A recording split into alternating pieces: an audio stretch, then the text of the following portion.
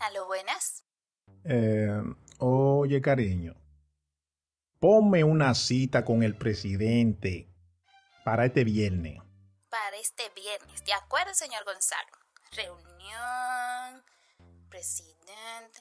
Ah, ¿Viernes con B corta o B larga? Em,